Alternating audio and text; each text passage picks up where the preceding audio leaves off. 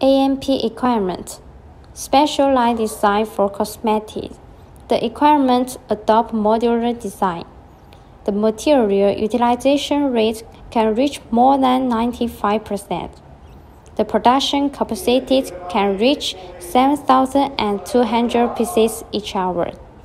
Two or more materials can be filled simultaneously.